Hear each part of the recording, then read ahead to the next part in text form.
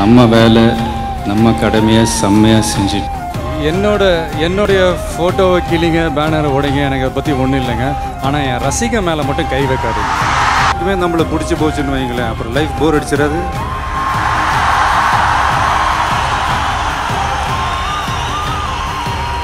அப்புறம் நீங்கள் யாருக்காக என்ன சாதிப்பீங்க? யாரை சந்தோஷப்படுத்துவீங்க?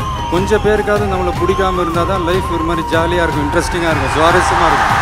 நம்ம தலை கனமாக இருக்கக்கூடாதுன்றதுல கர்வம்லாம் இல்லாமல் உங்கள் உங்கள் லைஃப்பில் பெரிய பெரிய உயரங்களை அடையணும் அப்படின்றது தான் டூ திங்ஸ் வில் டிஃபைன் யூன்னு சொல்லுவாங்க. One is your determination when you have nothing.